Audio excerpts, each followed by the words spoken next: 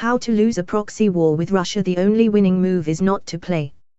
Michael Kofman March 6, 2016 tweet Printer friendly version The 10-year ceasefire deal in Syria offers an opportunity for reflection on not just the Syrian war, but also the conflict in Ukraine, where the war burned bright this time last year and still simmers. Aspects of the conflict in Syria offer a window on how a proxy war might have played out in Ukraine. The circumstances are decidedly different, but the mechanics of fighting a proxy war with Russia on one side and the West on the other remain the same. Russia's intervention in Syria is a useful vantage point from which we can look back on the bitter policy debates that were held in 2014 and 2015 on how best to help Ukraine militarily the Syrian war provides important insights, and in some cases analytical verdicts, on the then hotly contested question of sending lethal weapons to Kyiv. In February 2015, I wrote a lengthy piece for the National Interest entitled How to Start a Proxy War with Russia, siding against calls at the time to send lethal weapons to Ukraine. My argument was that there were smarter and more substantive ways to help Ukraine that piece was not penned out of blind conviction, there were solid arguments on both sides of the issue, made by good people. At the time, Ukraine was heading into a military defeat, which turned out to be the Battle of Debaltseve. Sending arms felt like the right thing to do, and Ukrainian leaders were asking for them. Those strongly in favor argued that there were few to no downsides.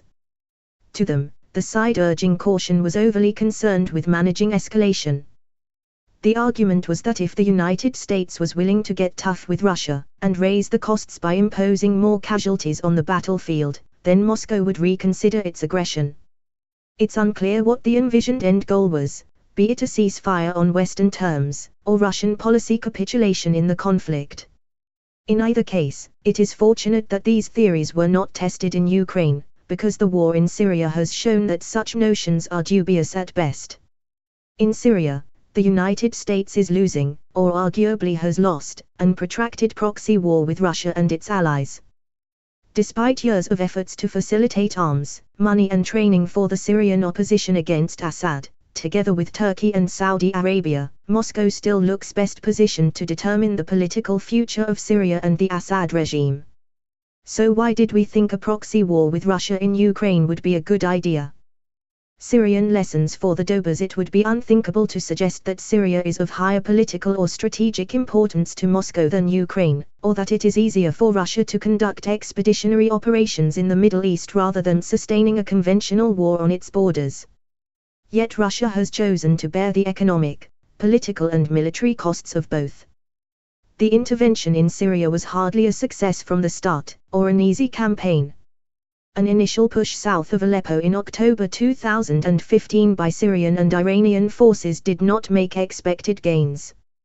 Russia intensified its air campaign, regrouped the Syrian forces and settled in for a longer fight across the entire line of contact. The Russian-led coalition has been picking away at the Syrian opposition piece by piece, and as a consequence, the momentum on the ground has shifted in Russia's favor. The current ceasefire is the product of those labors, and Moscow can end it at any moment to continue making military gains. Fighting in Syria and Ukraine shows us that Moscow knows how to train, equip and advise proxies to die for its political ends. Russia has taken seriously the task of training the Syrian army and equipping it with more capable equipment. Much of that war effort leverages what's left of the regime's forces, together with Iran's army and Hezbollah, to do the fighting on the ground. Moscow had done the same with separatist forces in the Donbas, running a sizable train and equip mission designed to turn them into a miniaturized version of the Russian army, organized into brigades and battalions, and fielding armor and artillery. A glance at the ARS monitoring mission reports from Ukraine these days will typically reveal a separatist armor battalion, 30 plus tanks, undergoing training in Luhansk, along with regular reports witnessing large numbers of armor massed in the breakaway republics. The separatist forces tank, infantry fighting vehicle and artillery stocks could be quite comparable Ukraine's military today, without even counting Russian forces in the country. Turns out there is enough money and equipment for Russia to support two proxy forces, and to participate directly into two conflicts tipping the balance, assumptions about Moscow's political will and physical ability to sustain combat operations were incorrect in early 2015.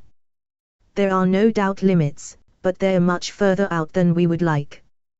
The mighty Javelin regular Russian troops may have played the deciding role in Ukraine, but many of the casualties over the course of the war were absorbed by expendable fighters and volunteers. Back then, and even now, some argue that it would all be different were we to give Ukrainians Javelin anti-tank guided missiles, ATGMs, to knock out Russian tanks. That policy recommendation was puzzling at the time, given that the war in Ukraine was always dominated by artillery, defined by World War I position warfare and indirect fire. I criticized sending this exorbitantly expensive weapon system, which was often described as though it were the sword Excalibur pulled from the stone. A war has yet to be decided by Javelin missiles. Those policy prescriptions referred to weapon systems and assumptions, in place of a political or military strategy, which struck me as a recipe for failure. The Syrian battlefield is littered with expended American TOW-2 or TOW-2 anti-tank missiles, one blogger has patiently counted over 1250 ATGMs fired by the Syrian opposition, around 800 of them being American TOWs. These have made good work of old Syrian T-55, T-62 and early T-72 tanks, but they have wrought more carnage than victory.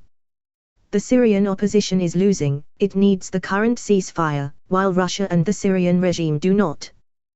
Dumping missiles into the war certainly escalated the conflict, but when the United States policymakers were faced with the inevitable question of what to do next, they quickly discovered the limits of how far America was willing to go in support of the opposition. Looking back on 2014, when the first Minsk agreement was signed, it was already becoming evident that Russia had no intention to conduct a broader invasion of Ukraine. Moscow had the option, and decided otherwise, its battle was always about controlling Ukraine, not owning it. By 2015, Ukrainian military officials also saw it as an unlikely contingency, and still do. The theory behind sending weapons to Kiev was disconnected from a logical foundation in military reality or strategy, but fraught with risks for the country and its nascent political direction. It is not simply a fight that Ukraine was unlikely to win at the time, given the state of its military. Syria tells us that this is a type of war in which Russia has a distinct comparative advantage, both in the balance of interests and the lack of constraints. It's like the old quip about wrestling with a pig, you get dirty, and besides, the pig likes it. The asymmetry of interests, capabilities and constraints made it likely that a proxy war in Ukraine would not favor the West, and certainly not the country playing host the contest, just look at Syria. Ignore escalation at one another's peril let's turn to the question of escalation. By putting on a show with missile strikes in Syria, using ships, strategic bombers and even submarines, Moscow reminded observers that Russia has a variety of conventional strike options at its disposal. Maybe if Russia truly wanted to keep its involvement in Ukraine deniable, it would have to eschew much of its air power, and some of its high-end capabilities. That is of course assuming Moscow could not readily shape domestic public opinion, which unfortunately is something the Kremlin seems quite adept at doing. Arguably Russian leaders could have framed the war in Ukraine in a myriad ways to expand their force options and justify the intervention, which they were able to do successfully in preparation for operations in Syria. However, the more salient lesson of Syria is that the Russian military is a very large toolbox, offering a panoply of options for escalation. Moscow is not short of ammunition, or shy to throw more expensive equipment into the fight, and there are enough offensive fires there to not require the use of aviation. Instead of leveling the battlefield from the air, they would have pulverized it from the ground, or perhaps the separatists would suddenly develop an air force of their own. They did operationalize a few Soviet aircraft trainers in Luhansk, Russia's options were plentiful, so what was the United States going to do if the FGM-148 Javelin failed to become a strategic game changer? If experience is anything to go by, the, the United States policy community would probably hold a lengthy discussion at home and consult with European allies on what to send next, by which time Ukraine would have lost. Syria teaches us that escalation dynamics are liable to keep the United States out of a direct confrontation with Russia, yet give Moscow the latitude to prevail in a proxy conflict where its interests are stronger. The last time the West won such a proxy war was Afghanistan, which came at the price of the complete destruction of Afghan society, and a large civilian toll over 10 painful years. America, along with every country in the region, is still dealing with the consequences of that victory over the Soviet Union. Let's not look back on the Cold War rosy-eyed, forgetting what it cost to those who played as battleground winning in Ukraine might have rivaled some of the proxy wars we fought against the USSR, with a casualty toll orders of magnitude higher than the current number killed in the conflict. Who pays the real costs of a proxy war? In 2015, I considered the potential cost Ukraine might pay to test Western theories of escalation and Russian casualty tolerance, with the Afghan experience in mind. It would certainly be voluntarily, just as the Afghan Mujahideen volunteered back then, and the Syrian opposition now. The performance of the United States proxies in Syria, along with those of Turkey and Saudi Arabia, only further confirms those doubts. We excel at fighting, it's winning and finding a political settlement to the war that frequently eludes the United States. Russian troops have died in Syria, from military advisors to special forces units, and even pilots. These costs have not been sufficient to make Moscow reconsider its intervention, or withdraw. At each turn, Moscow has intensified its air campaign, thrown more equipment into the fight and escalated. If the Russian leadership is so casualty conscious in Ukraine, why risk lives in Syria, where the politics are hardly better? Russians are not exactly pining away for a protracted conflict in the Middle East does the Syrian intervention support the casualty aversion narrative we heard so much about back in 2014 and 2015? John Kerry's mention of a partition in Syria as a possible alternative should the ceasefire fail is heavy with irony. A de facto political partition is what Russia sought in Ukraine, with its demands for federalization and devolution of power to the regions.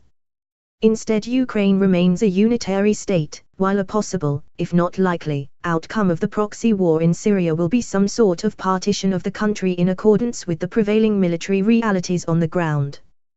Over the course of a five-year proxy war in Syria, the parties involved have successfully destroyed the country, with hundreds of thousands of lives lost. The costs of abetting a prolonged proxy war are self-evident, the gains less so, especially for Syria's people.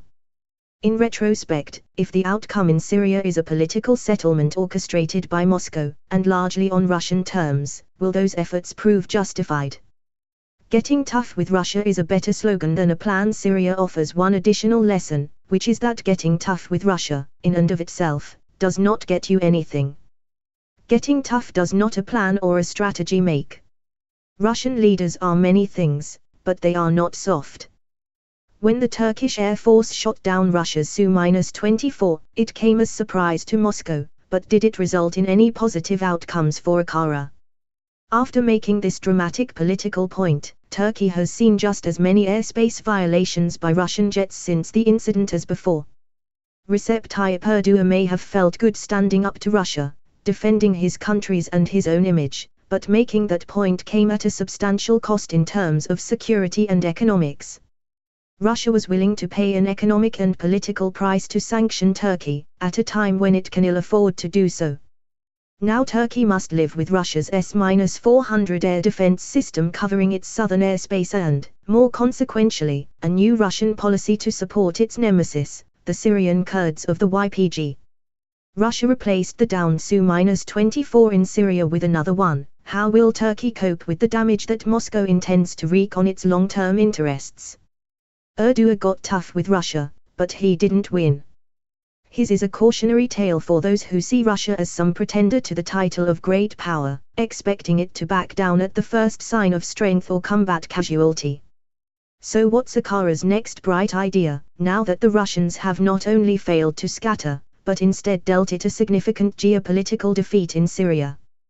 Turkey is arguably the biggest loser in Syria, the difference between getting tough and being smart that could have been the United States foreign policy in Ukraine. America was wise to be cautious and deliberate in supporting Ukraine, working to train the armed forces and National Guard, and supplying non-lethal equipment. Those foundational efforts may result in a much more capable and professional force, and they don't exclude sending our precious javelins either. In time, Ukraine's army will be in a much better position to integrate more capable Western equipment, though it is many critical reforms away from such an end state a long-term commitment to promote institutional change in Ukraine and reform the force, shows the best of what the United States has to offer and leverages the capacity of one country to help transform another. The Syrian experience demonstrates that the decision to focus on structural reforms and assistance in Ukraine over weapons is a victory of judgment over impulse. Michael Kofman is a global fellow at the Kennan Institute, Wilson Center, and an analyst at CNA Corporation. The views expressed here are his own. Image, Wikimedia Commons forward slash kremlin.ru